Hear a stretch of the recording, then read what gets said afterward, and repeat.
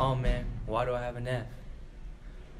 Oh, it's because Friday I went to the football game and forgot about the essay and I didn't finish it.